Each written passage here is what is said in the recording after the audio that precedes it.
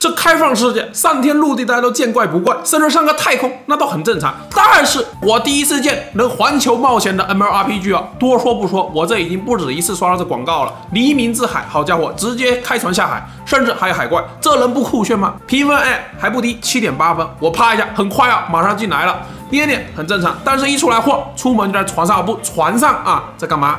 藏宝图，嘿。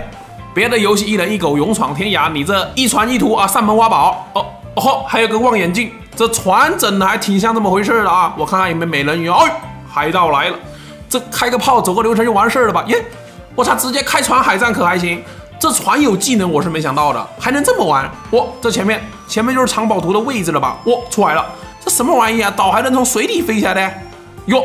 这岛上还有 BOSS，这头上这头上是灯笼咩？我说这岛咋那么亮？原来你在燃烧自己，照亮全岛的，这就是奉献精神啊！有一说呀，这开放世界又能航海又能上岛打 BOSS，玩法确实很新颖。这游戏不仅船只自带技能，人物也自带技能啊，甚至还有四个职业：这个圣殿军、吟游诗人、弹药学家以及这个重炮师，属实是老母猪啊，带奶罩，一套又一套啊！